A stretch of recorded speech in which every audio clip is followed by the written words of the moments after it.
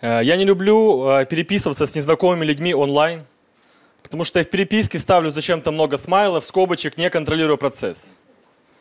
Вот, просто мне недавно с карты пропали деньги, решил написать в поддержку банка. Я написал, где деньги, зачем-то две скобки в конце поставил. А там оператор, видимо, решил подыграть, написал, видимо, украли, ахахах. Целом это семейная проблема, у меня мама тоже не умеет пользоваться смайлами. Она меня недавно поздравляла и в конце поставила, как оказалось, смеющийся смайлик. Но на самом деле его тошнило. Ну, я объяснил все маме, она такая, блин. А я уже две недели так отвечаю на открытки в WhatsApp. Я говорю, мам, продолжай.